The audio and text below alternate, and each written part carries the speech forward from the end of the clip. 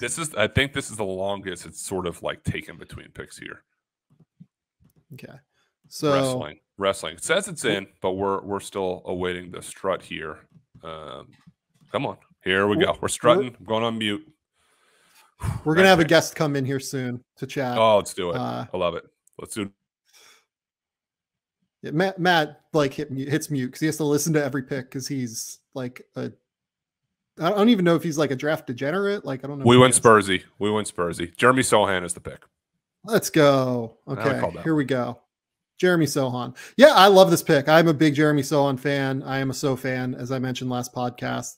Uh, absolutely adore him. Absolutely adore his defensive upside. I think he has a real offensive upside as well. He's the most switchable player in this draft class. You go back and you watch his tape.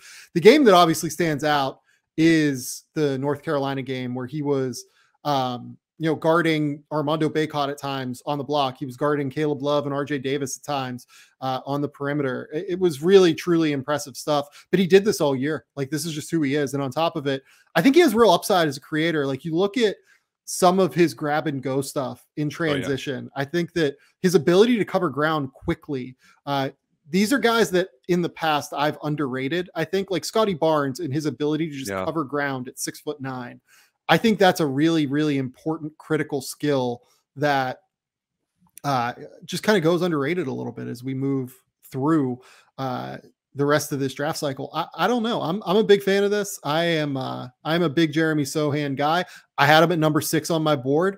This is a phenomenal pick for the San Antonio Spurs. It is, and I, I was talking to a basketball person about this today a little bit. Not this pick, but just sort of the mold as like I don't, I don't see Jeremy Sochan really as a five, but you watch what Golden State did in the playoffs. And, and granted, Golden State's a little different because they have four guys that are going to bomb from 40 feet away and like good luck.